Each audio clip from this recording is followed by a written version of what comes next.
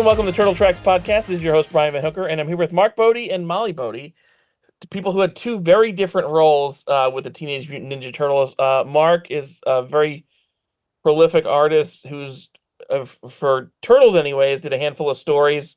And and Molly worked. What was your role at Mirage? I was the licensing assistant. Okay. For like almost 10 years. So from 90 to 99. Wow. Okay. I guess the place to get started is I mean, when did you guys first meet Peter and Kevin and or go to Mirage? Like when did that all how did you guys end up there? Well, um I was at San Diego Comic Con in 1986. I had already heard about the uh, the success of the Teenage Mutant Ninja Turtle comic book, and uh, in fact, um, I was part of that black and white boom that that happened because of the turtles. Sure. The black and white boom um, had everybody from uh, radioactive black belt hamsters to uh, fish police to you know like everything that spurred off of the turtle uh, success. And I, um, Molly, and and I were were at a I think it was uh, we're at a, a Carney game somewhere, uh, and we saw a little plate that said Miami Mice. And it was just a little glass plate you would win, you know, when you pitch the ba- the baseball at the jugs. Oh, sure, And- yeah. And she went, "Hey, that would make a good comic book."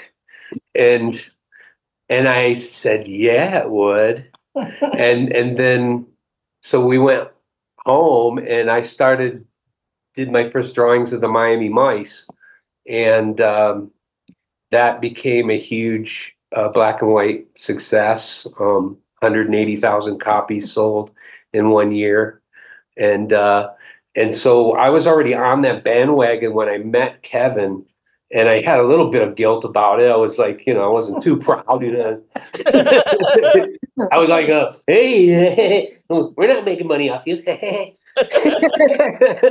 off your success. And and uh, he was totally the opposite. He was like, man, I'm such a big fan. You know, like I've been following your dad's stuff, and uh, you know, I've got I've got the the Cheech Wizards and the Junkwaffels, and the, you know, he he. There's even a picture of Kevin um, when he first was packing up, you know, issue number ones of the Turtles, um, there's a picture of him and Pete packing the books up, and he's got a Cheech Wizard shirt on. It's it's in the documentary on TV. But Oh, uh, what, what year was that picture? That must have been before you met you? yeah, Yeah, it was like yeah. 84, 85, maybe. yeah. Oh, okay, so for those who don't know, uh, uh, Mark's dad uh, was Vaughn Bodé, acclaimed underground comic artist, cartoonist, um, but and who has like still a crazy following to this day and influenced people like Ralph Bakshi. Yeah, it's pretty much um, everybody who started the graffiti movement on the on the subway trains in New York City um, imitated my father's characters. You know, Cheech Wizard and the Lizards, and and it was um, you know um, it's it's gone from there. You know, it's it's it's it's rippled across the planet.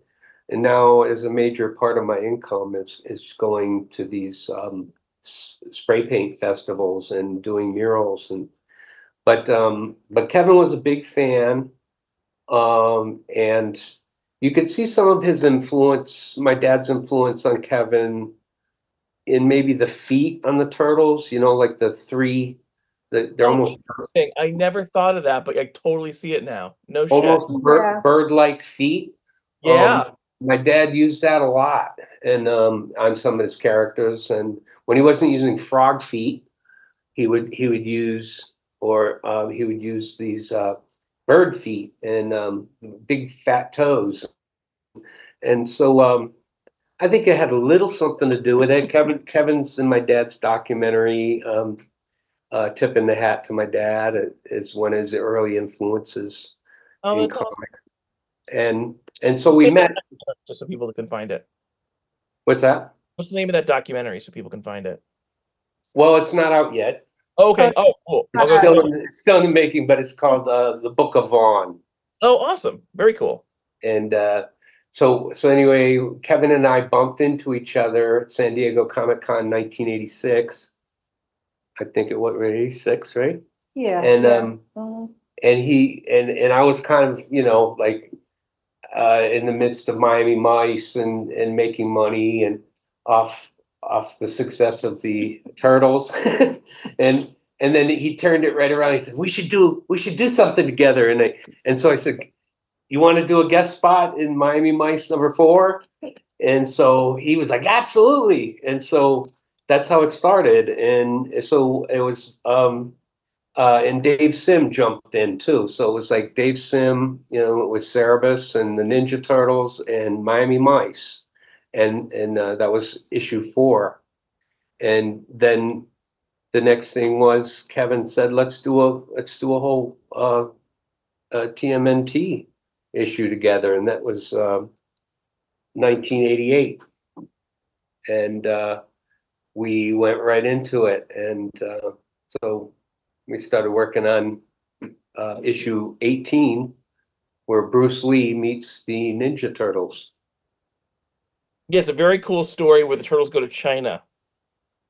Yeah, I I mean I was a big Bruce Lee fan, and and I thought, what's what's more iconic than uh, if if the Turtles team up with Bruce Lee? I just thought that that was just the most the perfect combination of you know, and um, and also Kevin at that time uh, at at the Ninja Turtle. Uh, well, no, it was at, San Diego. at San Diego Comic Comic Con. Um, Kevin gifted me a little box of uh, the first turtle um, figures that were done by Palladium Books. And for the Oh, role. the Dark Horse ones?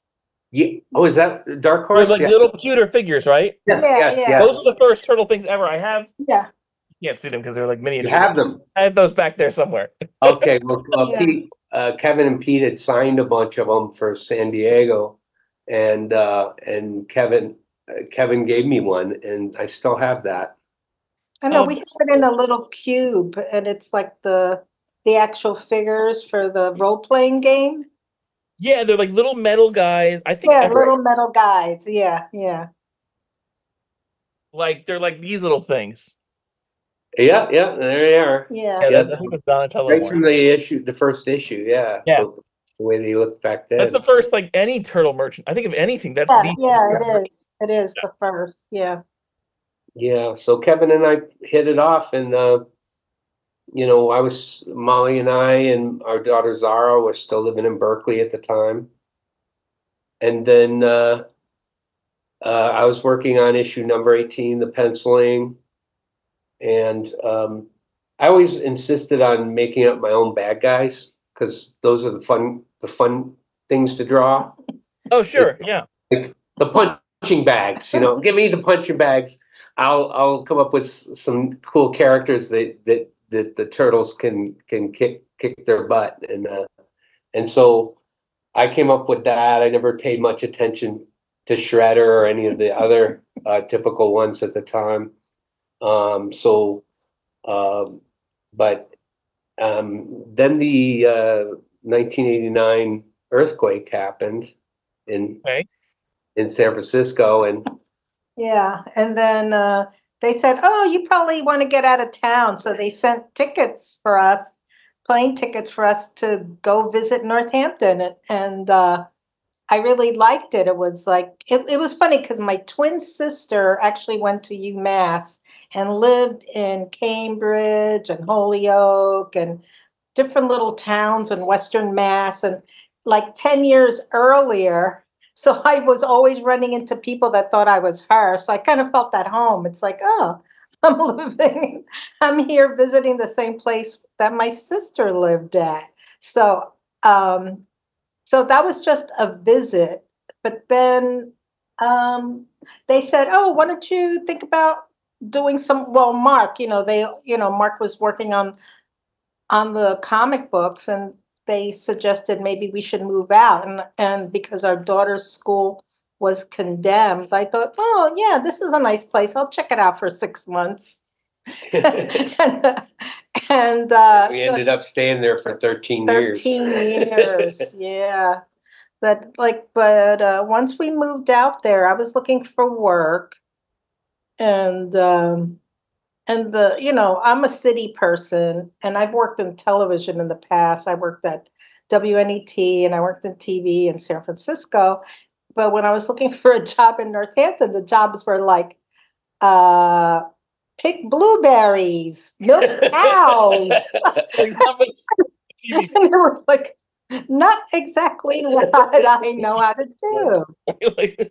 And I and one day I was just grocery shopping and I ran into somebody that worked there and she said she was going away for you know taking a vacation and and th- they were planning on calling a temp agency to get some help for the office and I said don't call a temp agency hire me you know so so I went to the office and and Pete said well you could work here till you get a real job because we don't like uh, we don't want you know girlfriends or wives of the artists really in the office i think you know. So but the thing is like they didn't have the background that i had. No one in that office had the background that i had you know it was like that you know like jim prindle was an ex-cop or something. I don't know what he was. I don't know. Paul jenkins was uh, a musician that worked in a hardware store and had broken his leg and he couldn't work. So he asked them if I guess he told me he met them like he had. I think they made, did a cover for an album that he was working on with his band, and he knew them from that. And so they they hired him to hang, hang out so he could sit at a desk with his broken leg. That's when I first wound up there, and and I I always get such a kick out of the very first assignment I had was to uh, pick the winner from the box of Wheaties. You know, when you get like cereal and there's a contest in the back, yeah. draw a turtle. and I had like thousands of, of letters that I had to open to pick the winner of the, you know, they had different categories for ages, you know, like four to five and teenagers mm-hmm. or whatever. I had to pick the winners of the the back of the cereal box. I just got a kick out of that. It was so great. Was and I, you know, cereal or Wheaties? huh? Just like the turtle cereal or Wheaties? Yeah, or- Wheaties. It was Wheaties. Yes, the turtle I cereal hadn't existed then. It, Sure. Yeah, there's no turtle cereal then. It was just like a, you know, a promo on the back of Wheaties or We something. came in, what, at nineteen ninety? Yeah, July. Nineteen ninety, we moved out there. Yeah. Okay. The first You've already movie, done at least one or two issues by then, right? I did one issue. Just one before then? Okay. Eighteen had just pretty much come out when I, when we moved. I mean, we started in eighty-eight, came out in ninety or something like that.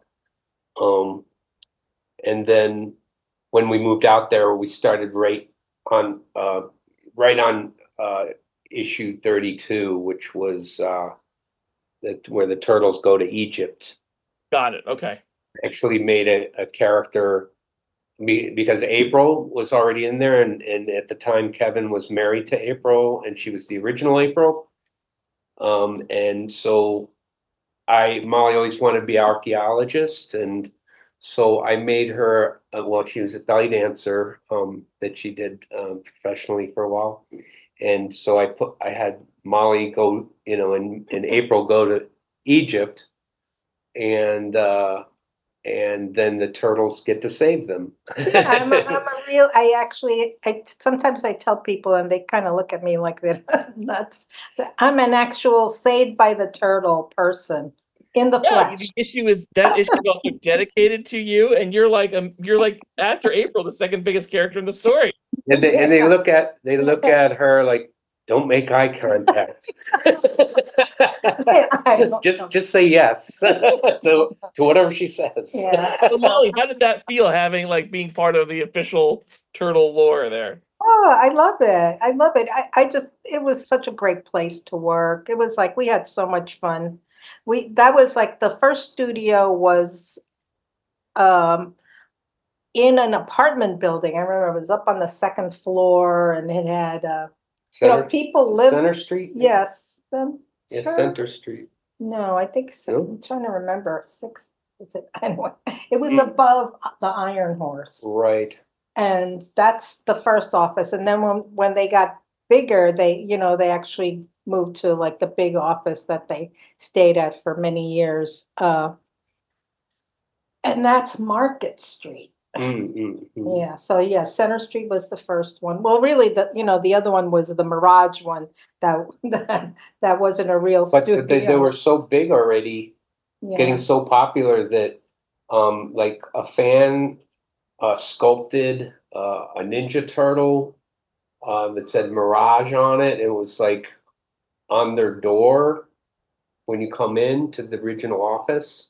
Okay. and it got stolen. Like you know, like people are already like, you know, onto it. You know, like onto the popularity of it. You're talking about the one that was in the apartment building? Yeah, the one that was in the I apartment building. remember that. But, um, That was great. Uh, the excitement in the air, I was like nothing I've ever experienced. That It was fun. it just everybody had, had, were bright eyed, and you know there was n- no end in sight. You know, uh, Ninja Turtles are just getting bigger and bigger by the second. You know, it. it it- We had to shred everything because people were going through the garbage. you know? Kev- Really? Kevin- that's hilarious. That's Kevin, so. Kevin and like when I first went up there in '87, I think, like uh, Kevin, uh, Mirage flew my my daughter who was only like five, Just boring. four or five years old, and they flew us out there. uh, I guess we were we're just gonna kind of get the lay of the land, and and Kevin's house was a very humble little cabin up in Worthington, humble little place. and just a few years later, uh, it became this compound with with indoor swimming pools and and and, and an un, uh, a fireproof bomb shelter under his studio for all his art collection and uh, Some rock and roll guy bought it. after. electric car, you know, racing uh, that took over like a big thirty foot area. You know, it's like th- everything a little kid never got. Well, Kevin got it. That didn't At someone one have an point- army tank or something like that. Oh, yeah, Man. yeah. At one point, April bought Kevin an army tank for his birthday. And so because they were out in the woods and they had a lot of acres of land, we would have like paintball wars, you know, in the tank, Jeez. hiding around in the woods in the tank with paintballs. I got to Guns. I got to drive that tank once and only once, um, because You mean drive it? what did So I? you said you drew it. Oh no, no, I drove it. You Yeah. drove it. anyway, but I, I was I'm I'm learning to drive a tank. Um, no, n- nobody telling me how to do it. Just left, you know, push le- left, you know, push push forward for, for left, put, pull back, you know, like whatever, you know, it's like a tractor basically.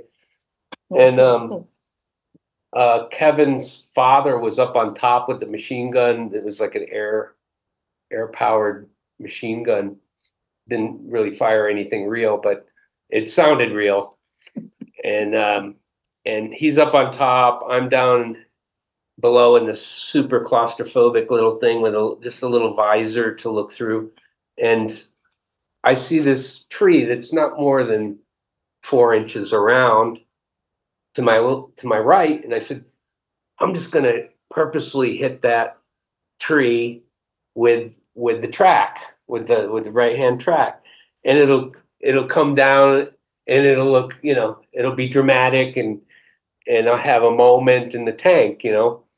Well, that little tree was really rooted really well, and the tank uh, tread traveled up it and almost tipped the, tra- the the tank over, and it threw his dad off the top, and so the tank almost, if it gone a little further, would have rolled over on his father and killed him. So um, I heard, Bodé, you're done. Give me the keys. but but it just kind of pivoted around and nobody got hurt. But thank God. But but that was it for the tank. You know.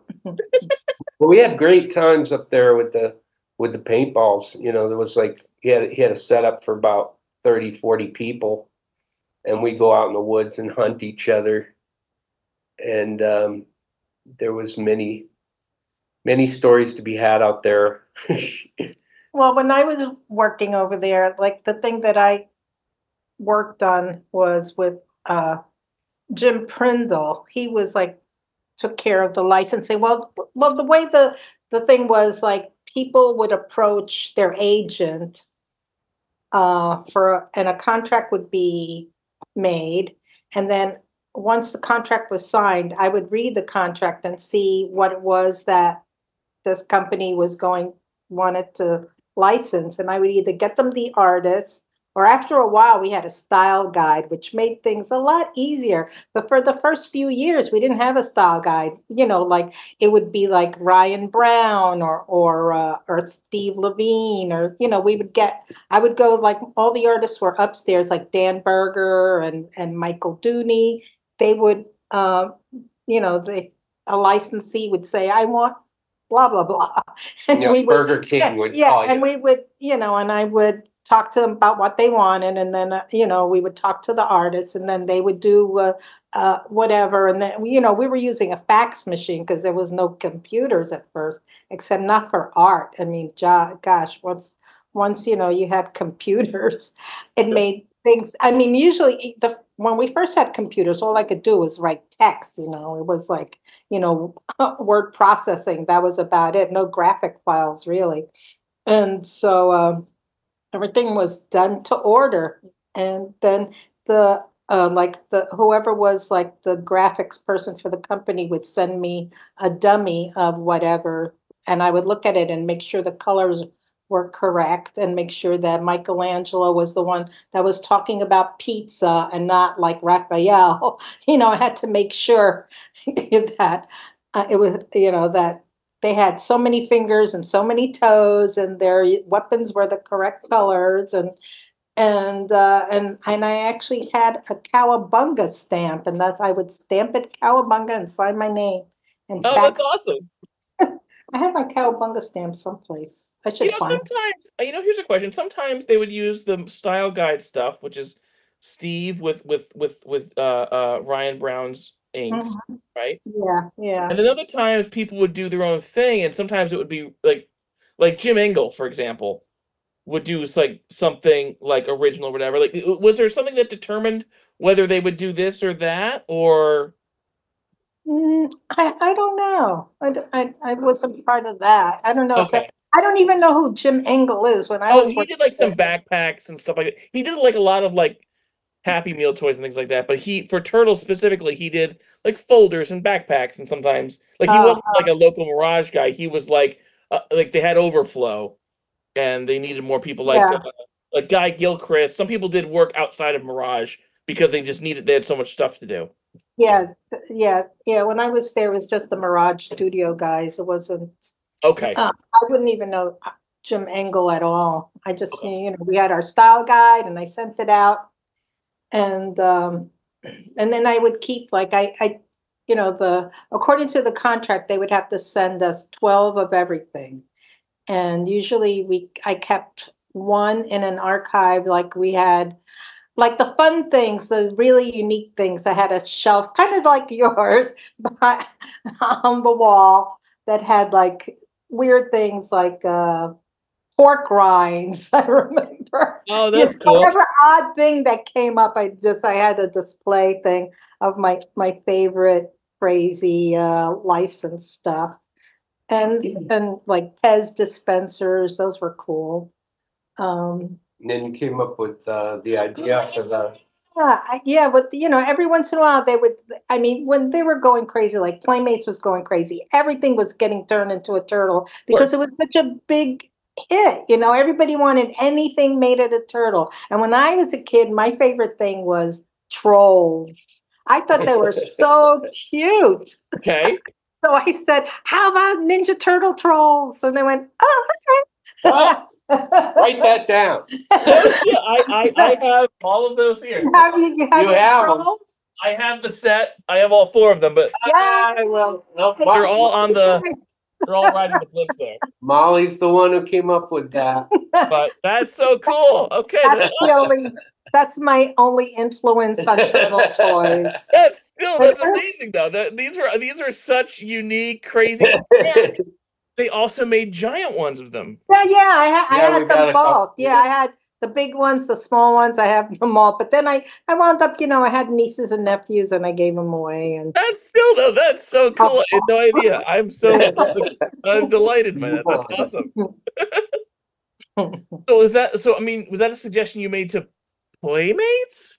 Or Uh, the, probably to Jim Prindle, and he sent it to Playmates. that's and so cool. I Ran with it. They ran with it. Mhm. Yeah, yeah, they ran. They yeah, they did all four of those, and they did the huge. Yeah, never got the giant. so one. I never many. made those two. Um, every there were so many turtle toys. what were some of the other like really weird, crazy things that went through there? Because there's like I, I, that's what fascinates me now. Because I got most of the stuff that I want.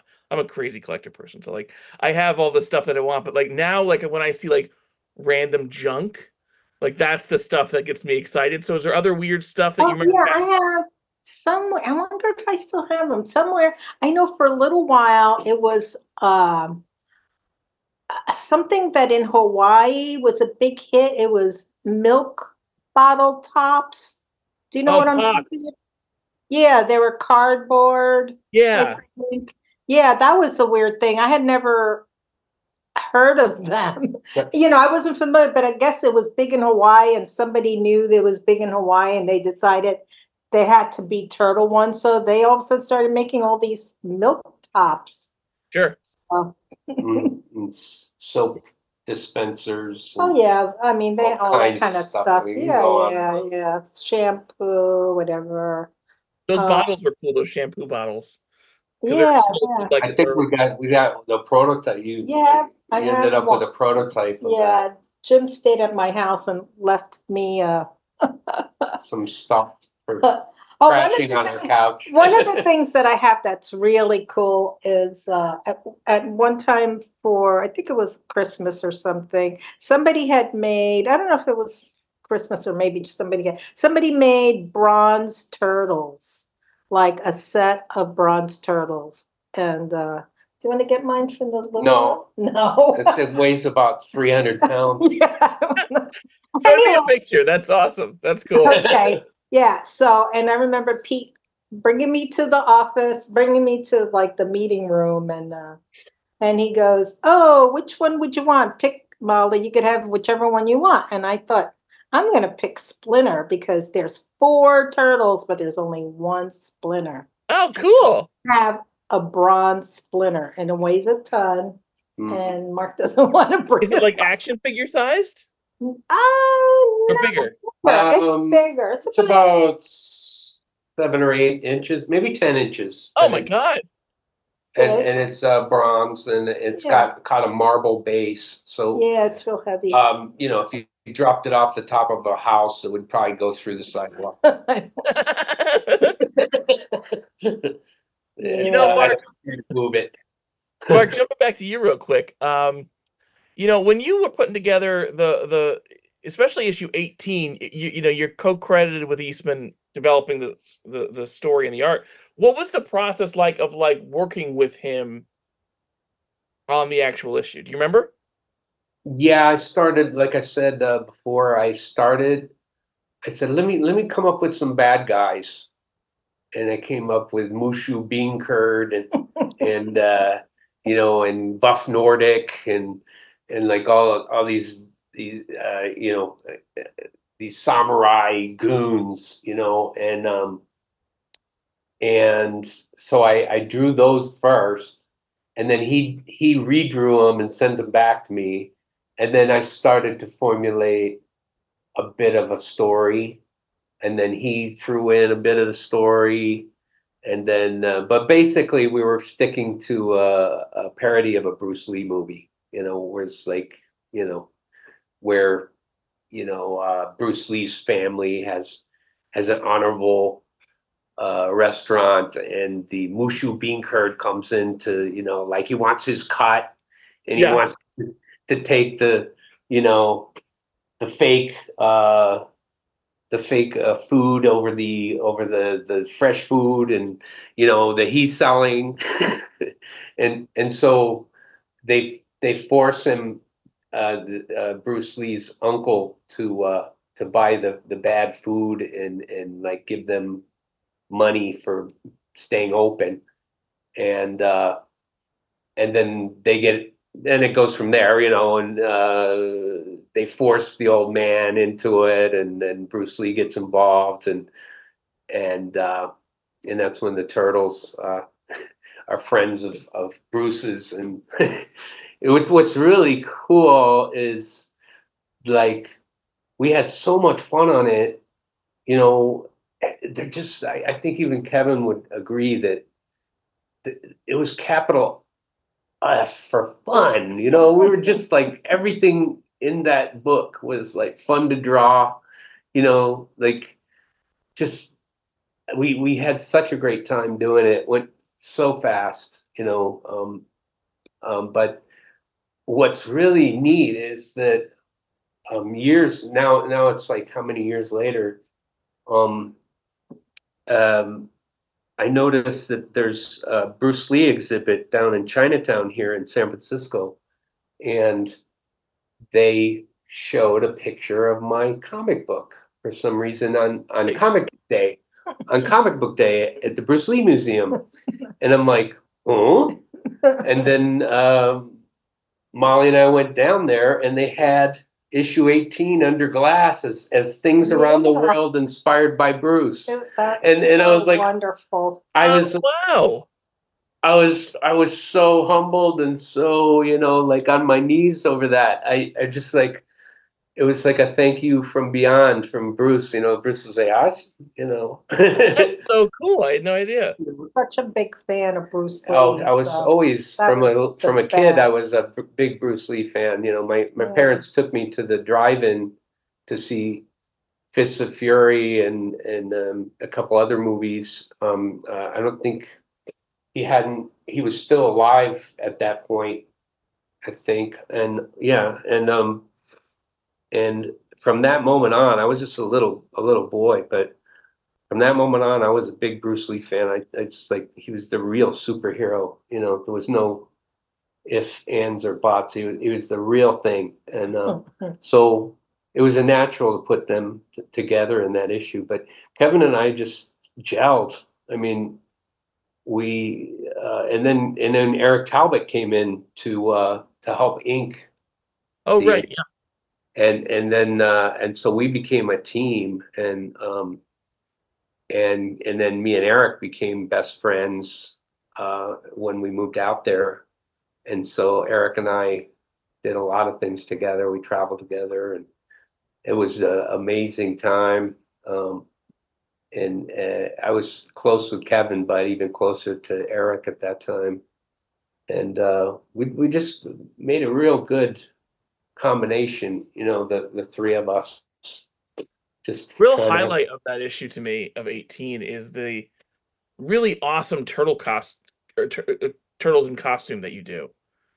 There are all these various Chinese gear, and it's super cool and unique to that issue. There's one point Mm. where they have like this thing painted on their shell on the front of it, and like they're in the straw hats at one point. Like there's really cool turtle renderings in that that I just love. That stuck with me since I first read it. So well, thanks. It, it was it was like a, it was a pleasure to to come up with that stuff, and and I think I'd come up with a basic idea and a sketch, and then Kevin would refine it, and um, and I was actually taking real turtle motifs from uh, Japanese motifs that uh, uh, over the centuries, and so I was I was doing a lot of background work trying to trying to make um, things uh, as authentic as I possibly could.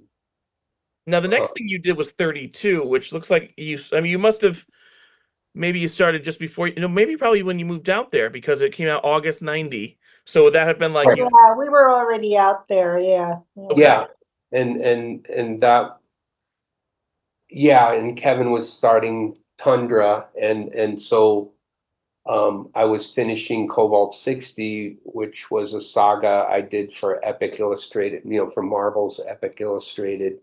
And that was like one of my first professional jobs in the early eighties. Um, mid eighties and, um, and Cobalt sixty was one of my dad's creations. And Kevin said, finish it, you know, I'll, I'll pay you to finish it. And so, um, we were up there at Tundra.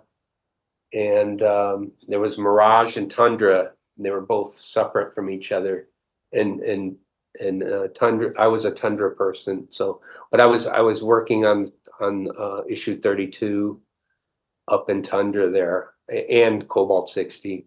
Yeah, so we never really ever worked in the same office, like I I was was. say, like you you probably didn't work in the Mirage offices, right, Mark? No, Never, he didn't, never no, did, no. no. Um, but Tundra gets a nice shout out in that issue 32. It, it does. Yeah, the turtles say haven't shipped that.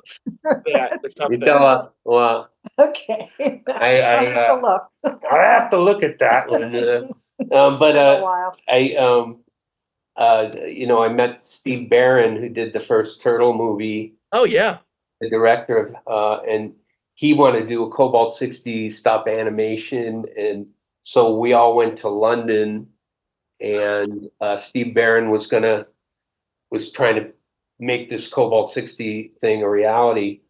And, um, mean, meanwhile, the second movie was starting, the, the Teenage, uh, Teenage Mutant Ninja Turtles two was, was starting.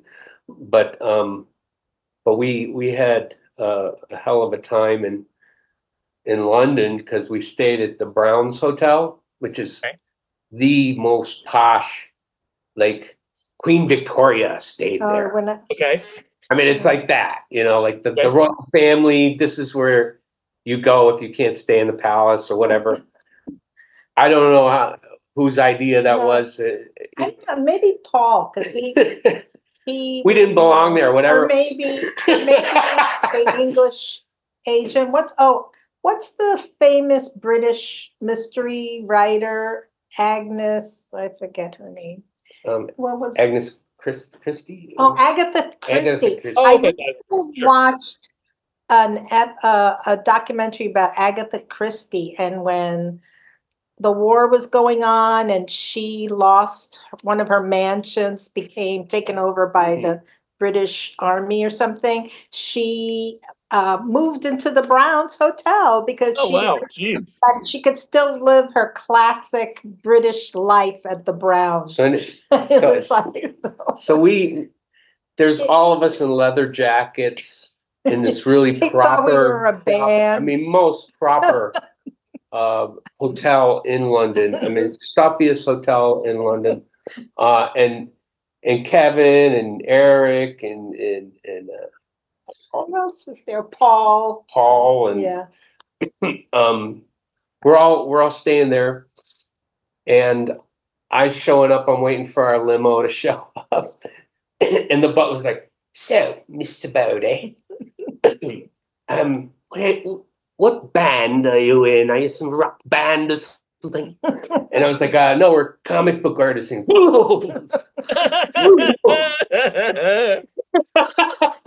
it was total undeservings. He was in, uh, you know, he couldn't even hang out around me, and and and and, uh, and I, I I I just kind of put my chin up, you know, at his reaction, you know, because I, I was like, oh, thank you, and and then uh, you know, uh, then we get in our limo and go, and um, and uh, uh, the next day, Alan Moore, who wrote Watchmen, and you know, Yeah. we're, Everybody knows hey, who he's the biggest guy. Anyway, He showed up for tea. we show up for tea, and and we're at the Browns, and and then and same butler comes, uh, Mr. Bodé, um, we must have a proper attire for tea. You must have a suit and tie, please. And I was like, I, I uh, don't, I don't have one. All right, we'll, we'll- take care of that for you, sir. And and he comes over with this like David Byrne size jacket and tie that hangs to the floor, puts it on me, and Alan Moore's in a proper tie, suit and tie. He knows where he is, and he goes suiting for you, and that's all. Uh, that was like our our our uh, our tea with um, Alan Moore at the Browns. wow. Now, the, the the thing with Steve Barron, the stop motion thing, it didn't. It didn't, you know, like like many Hollywood Of course, yeah. things. Um, later on, uh, Zack Snyder, after he did 300, came after a Cobalt 60 uh, live action movie. He he really loved the comic as well, and actually got the option money and everything. But but then he got Batman and Superman and uh, Justice League, and it's it's just like the list keeps going on. And there's no way that we can compete with that, you know. Of course, yeah. We're just kind of waiting, you know. Like Zack, Zack says he loves the comic, and uh, he, and maybe he'll come back to it one day. But but really, uh, the Cobalt is still. Uh, it's nice to be wanted, you know. It's Yeah, nice. man, fingers crossed. Jeez, I hope that works out. yeah, yeah. One of the things that I arranged when we were in London was uh, visiting Creature, uh, the Creature Shop, Jim Henson's. Oh yeah, Jim Henson's Shop. Shop was out there where they built the turtles out there. Yeah, because I had missed out on being around when they were making the first movie, but I just, you know, being a Jim Henson fan and uh, he's such a beautiful person. And by then, when we went there, I think he had uh, just recently died. I'm pretty sure he wasn't he around. died May May, uh, May sixteenth, nineteen ninety. Yeah, Oh, okay. So yeah, it was right after the movie. Hmm. Yeah, so I, you know, I so I thought I can't be in London with people from Mirage Studios and not go see Creature Shop. So we, you know, I, we arranged a trip there and that was wonderful. Were the turtles or Tokka and Rahzar or any of the stuff from the movies there? Yes, Yeah, yes, you that, they were in the back room. Uh, there was a, Working on something else. there was a, yeah, I mean, there's the guy who puts all the uh, mechatronic stuff, you know, all the mechanical giz- gizmos and all the solenoids, and he puts them all together. And it was like this little wizard guy in the back, and he's amongst piles and piles of, of little dials and, and solenoids and, and wires hanging from the ceiling and and here's this little wizard of a guy, you know, you know like, oh, what? What do you want to see turtles, do you? And he and he and like and he pulls down, you know, one of the skeletons of the turtle heads, and it still worked. You know, he made it made it blink and stuff. Oh wow. He just had to hook it up to a battery or something, and and it started. It still worked, but it what didn't have the, a lot of this. Um, like some of the things were missing from it. It was like it just had the basic skin over it, but it, but the the the top of the head was missing, and you know, the, but it was it was fascinating to see the guy who made it work. You know, That's like cool. in his environment. You know. Huh. Mhm. Um, let's see, Mark. You also did a few short stories. Uh, you did uh later on in the run. Uh, you did a Ninjara origin story and an Archie special, and Mm. also maybe my favorite crazy little turtle story where the turtles are. I mean, turtles are stranded on a desert island, and then Raph eats a bunch of poisonous nuclear nuclear a a bunch of poisonous radioactive food. He blows up this like raft sized character, and they the other turtles sail on him back to New York. it's the most trippy. And I- I, I don't know I read what this when I was a kid. Like I read this when I was a kid, and I was like, "What the fuck is this?" Was- I don't know what you're talking about. I was waiting to say about those stories because I love them. That- no, I, I, I, you know, if I was going to do kids stories, you know, it, it better keep my interest. So I, I really went uh, all out on those. I think there was there was another issue that had um, one of the characters had the choice of like being put to death, either by two Dobermans or twenty Chihuahuas and he chose the Chihuahuas, which was the wrong thing to do. Because the Chihuahuas just, you know, just eat you alive in seconds. Whereas the, the, the Dobermans would, you know, there's only two heads, but the twenty heads trying to eat your, eat your legs is not, you know, a preferable way to go. But, um, yeah, I, I had some friends with Steve Murphy was, was, um, the, I think the editor on that, Archie. Oh was yeah, Ar- yeah, yeah. mhm. Um, but, uh, I also did, uh, Times Pipeline, which. That was, that was the next one I was going to bring up, which is like, like the purest kind of story in that way because it was like turtle and your some of your dad's characters. that like- was, yeah, nobody, um, it was just, I used Larry Todd as a writer who, who I, he was my mentor from when I was a child. He worked with my dad and, and he wrote Cobalt sixty and, um, and he, uh, did a lot of covers for Eerie and Creepy and Vampirella magazine back in the sixties and seventies. Um, with my dad, my dad would do the pencils and he would do the oil paints. Um, so, um, so I used Larry Todd and, um, and I did all the art myself this time because Kevin was too busy and, um, and Eric was working on Melting Pot, uh, with Kevin. And so I did the whole thing myself. And, uh, it was where the Ninja Turtles go to a Bodé planet.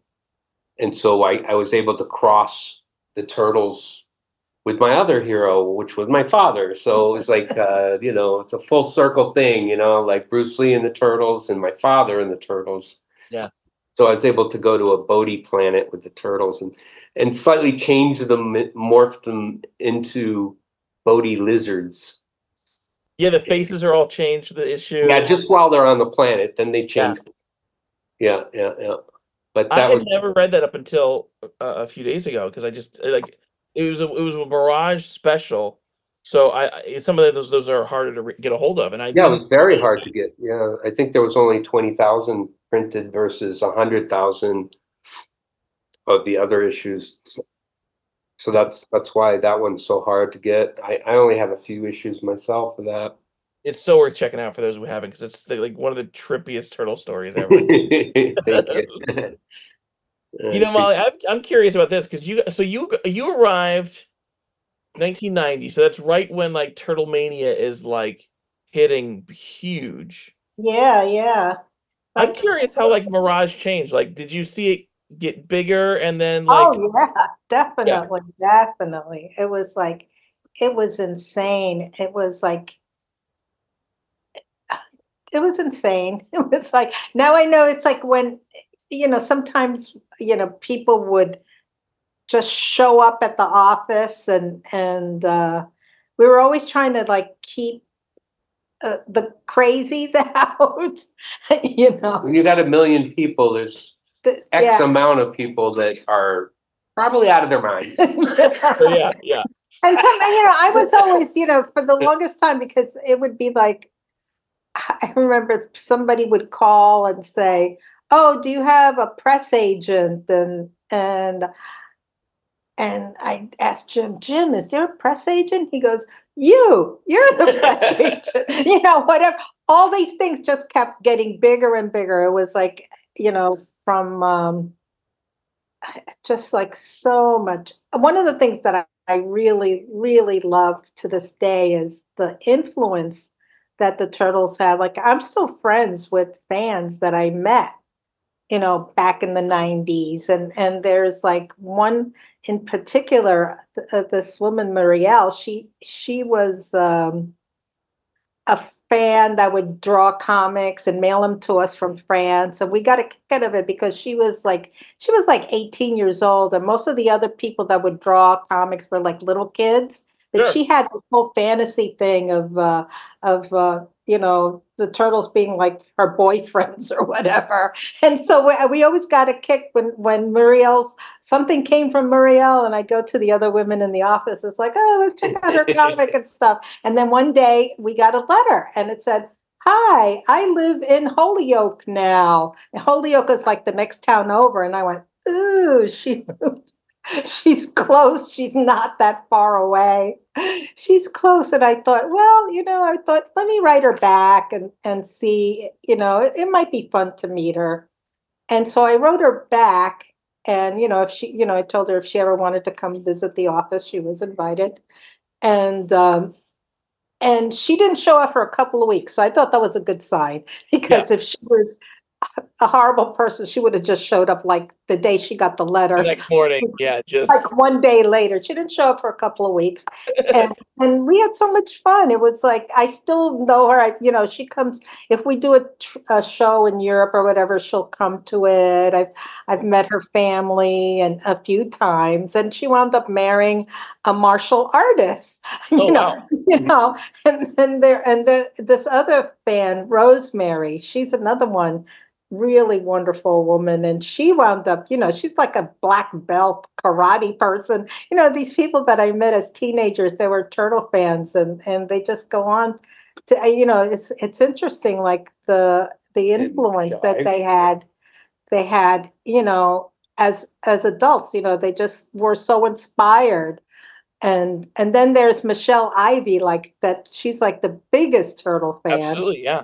yeah she uh, she's you know at first she was doing her i felt really bad when she first contacted our office because they kept you know she was doing parties dressed like a turtle and they were so like against anybody you know copyright infringement and all this stuff. They had so many rules and i felt bad. So you know when when you know cheryl had to tell her you know you can't really do that be making money because it's our property. So she stopped doing it. But um she became later. so i mean she Later got the. yeah the she okay. became no she became like i mean she's like the ninja turtle expert but she was such a big fan that one time when you know there was such a thing as variety newspaper that we would get in our office i read that i think it was vh1 was doing Totally obsessed. on on the yeah totally obsessed Yeah. yeah. and so I called her and I said, Michelle, this program has your name on it. You should contact them and get on that show. Yeah, and she did. And and that gave her like all of a sudden she, you know, that put her out in the public there being the turtle expert. And she afterwards she I think she was hired once to be a script reviewer for one of the movies, maybe the, Yeah, uh. I think the one 07 one. Uh, and Michelle's become a friend of mine, and and and she's Oh like yeah. Been on this podcast, and we've met a few times. Oh, and- oh cool. and like she's but she if, if there is an official number one turtle fan and it's michelle ivy and always will be. Number Yeah, she sure is. Yeah. Yeah. And um I remember she got approached by what is that model's name that does smize? I remember she had some kind of one of these models uh, that had her own TV show years ago that she wanted to give her a makeover, and Michelle said, "No, I don't need a makeover." She was genuine, and she wanted to stay the way she is. what were like uh, what were kevin and peter like in the old days like person like to work with pe- personality wise Personal. Well, you know, Pete always just stayed with the guys. He was like, Kevin was a partier. He was, I, you know, Kevin became a millionaire when he was like 23 years old, and and uh, Peter Laird was married, had a child, had a ha, he had a bookstore. When like when I mentioned that my twin sister lived in Western Mass when she was going to college, she would she remembers uh, Peter's bookstore. He had a little tiny bookstore. I think it was called like the one man bookstore because only one person fit in it or something because it was so small. But I think that was his business, you he- know, when he met He was more mature when, when. Yeah, had, you know, but but Kevin was always, you know, up for the party and and uh and um where uh Pete liked to ride his motorcycle and buy motorcycles. Kevin was always buying hot cars and uh, uh oh but I do remember one time Peter did surprise me. He bought a Hummer. And I, I remember asked telling him once, Pete, I never asked you for anything, but I want to ride in that Hummer. Ah. And he took me out to this muddy field and scared me to death, bouncing around all over the place. Oh, and then he Tony was telling me about that hummer when i had her on she was telling me about That that was when Ar- Arnold Schwarzenegger was the only other person with, with a private Hummer. Yeah, and, and he, he also got a Segway too. I remember riding the Segway for a few seconds. I rode a Segway in the parking lot of Mirage, and he was always into like the latest um, Mac. He had Macs Oh, that sure. I think one was called Next or something. I remember he had this very rare Mac, and I, and I, I, you know, I'm always wondering if if I really remember this guy. I remember this English guy coming to our office and hanging out with Jim Prindle and and Peter, and I could have sworn when I saw his name, this name in print again, I thought, oh, he's the guy that designed, did a lot of design stuff for for Mac. And I'm pretty sure he came to visit our office because Peter was such a big, you know, all the artists had Macs, and of course in the office we had to use PCs. Mhm. But um, but I always, you know, went and got tips on how to do art. I learned Photoshop from Dan Berger, and I still to this day thank him for it because he showed me how to use Photoshop, Oh, and that was that was a big help, you know, with Mark when we did stuff at home. And Kevin, Kevin, uh, our, our, our favorite thing to do was, was to have some cocktails and, and go through Kevin's art collection and open his vault. He had a vault, He bought a bank. right? And He and liked in the to vault, shop. he had his art collection. And so we'd, we'd, uh, we'd grab a stack or two, as much as we could carry and bring it up upstairs to the bar and, um, and make ourselves some cocktails and go through all the original Elektras and all the original yeah. Dave McKean, uh, you know, originals that he bought and the Corbens and the, you know, uh, the Frank Millers and the, like, it, it was just unbelievable. It was like the best museum, comic museum you could ever experience. And it was right in your hand. Yeah, one Yeah. time he said, "Oh, you want to read Arkham Asylum?" And I said, "Oh yeah," and he just hands me a stack of original art. Whoa, Oh. that's amazing. so, and then he opened up the museum, which was Yeah. wonderful. Words and Mhm. Pictures Museum. Oh my God, that was such a wonderful, wonderful museum. His his art collection was second to none at, at one point um, as he was going into the museum, and uh, um, he just, I mean, Jack Kirby's like original combat uh, Jack Kirby stories, and and and like it's, we're actually handling this stuff, you know.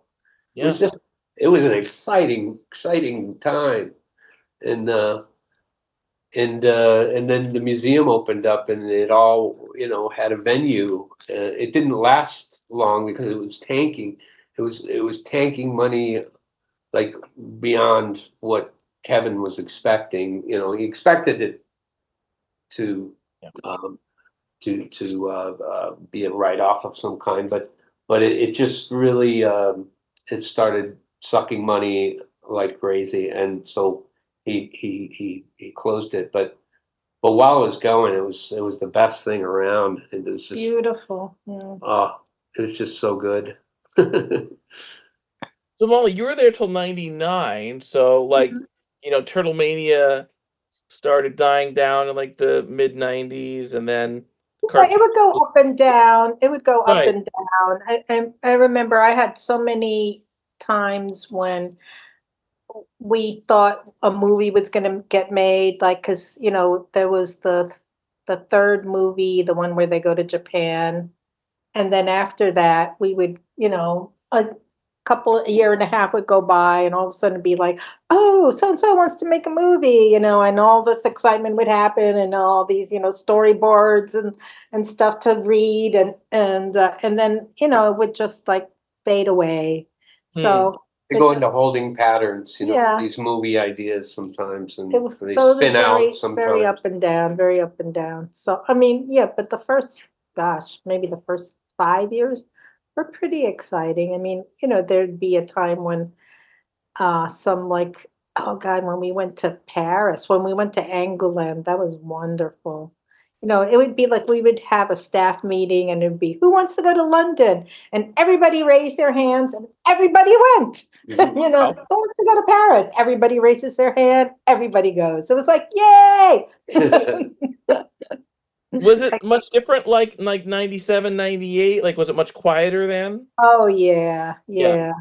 Yeah, they had laid off a few people and, Okay. and, Started winding down. yeah, yeah. I, I mean, I've always had a, um, family business in comics, so I wasn't as dependent on, on the, uh, and the income as, as some of the other artists were, and, um, But they were doing the comics. yeah, I, I I mean, mean, the comics kept going. The yeah, I mean, always kept going. I just, I, I didn't depend on that, I, I, I just relied more on, on my family's background again and went back to what I was doing more and more, uh, before. And then Oh. tattooing. but then I got into tattooing, you know, and which, you know, I, I ended up tattooing uh my first Ninja Turtle on on Michelle. Really?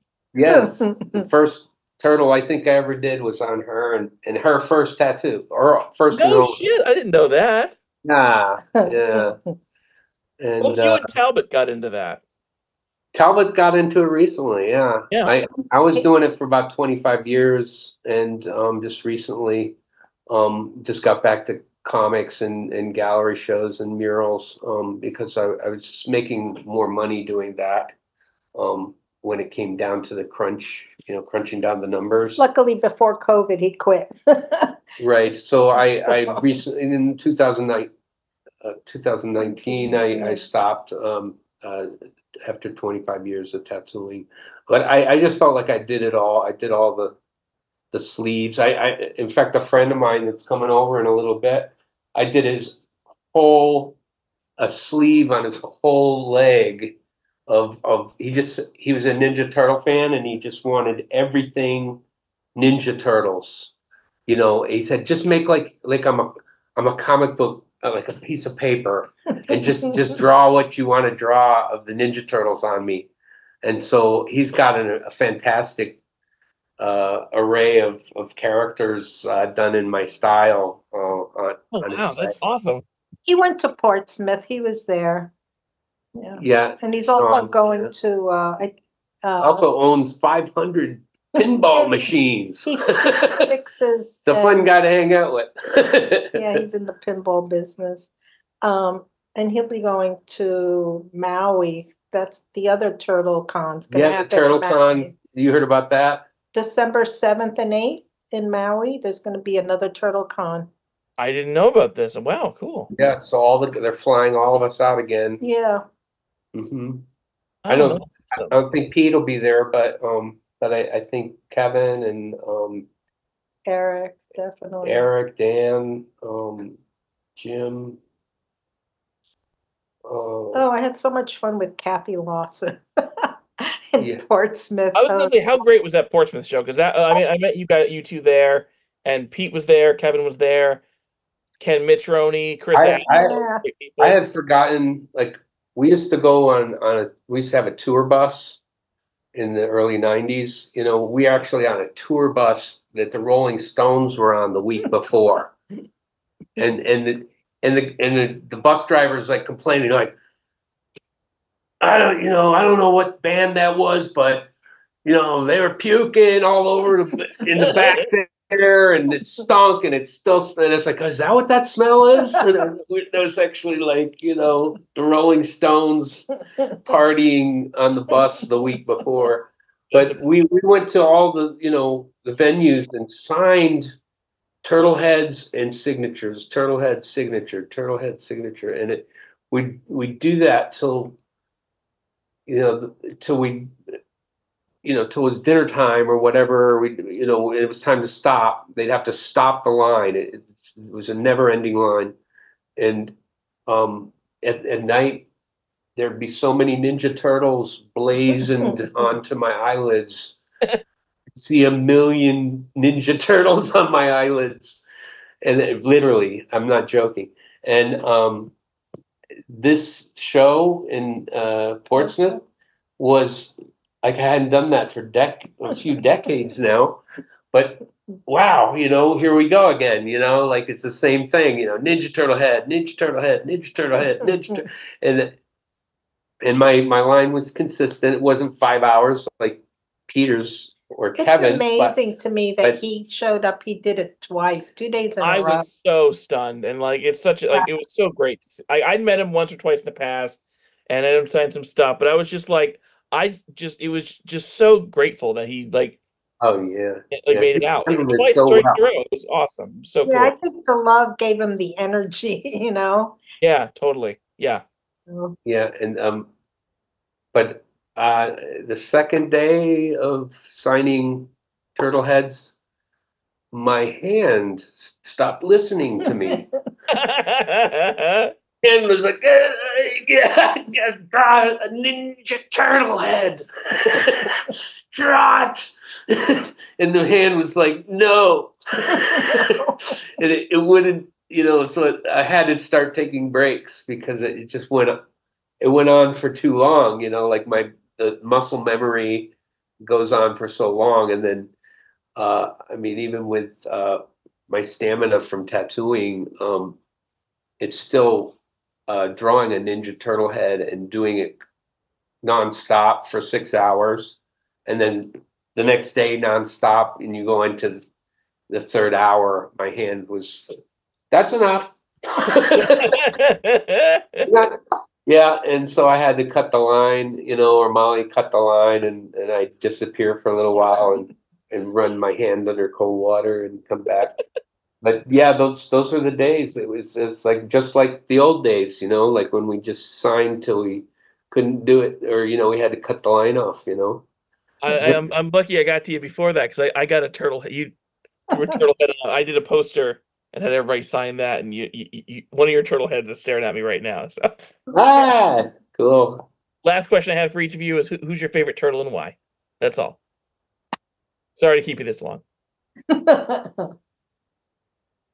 Well, uh, I, I I've always said Raphael. I mean, uh, you know, he's he's uh, the the moody one, and he's the dark one. He's the the original the the way the original turtles were. You know, like Yeah. he embodied that the bat the most. Um, is the only thing I could think of why I like him so much. But it it's it's more like I was like the old gritty adult turtles that that it started with, you know, and, it, it, later on they became more goofy and, and fun loving, you know, which which made them endearing to to the masses. But I like Raphael. I don't know. Well, what I, what I'm thinking of, totally left field there. My favorite character was Krang's android, Krang and his android body.